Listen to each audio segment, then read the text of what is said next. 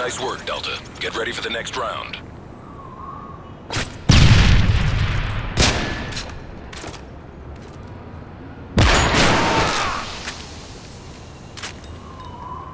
Halftime.